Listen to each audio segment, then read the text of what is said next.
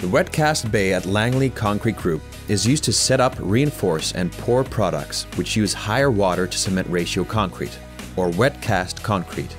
The concrete is poured into highly accurate metal forms, left overnight, cured, and stripped the next day.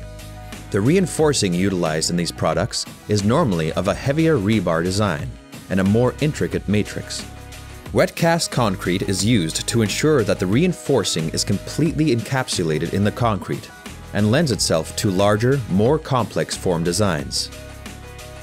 Wet cast concrete production allows for the creation of products such as highway barriers, light pole bases, water vaults, and oil interceptors.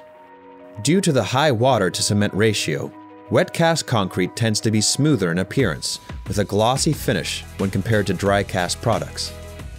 The advent of newer self-compacting concrete, SCC, high-performance concrete, HPC, mixed designs are furthering the uses of wet cast. Products with larger mass and of intricate design with many angles and returns in the form are now possible.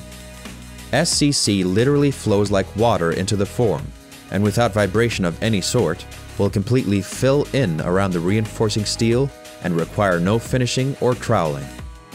The reduction of labor, mechanical vibration, and increase in workability results in a very high quality, structurally sound product.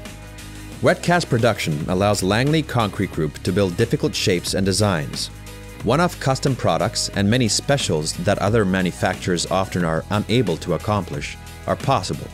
Wet cast production allows Langley Concrete Group to build difficult shapes and designs, one-off custom products and many specials that other manufacturers often are unable to accomplish are possible.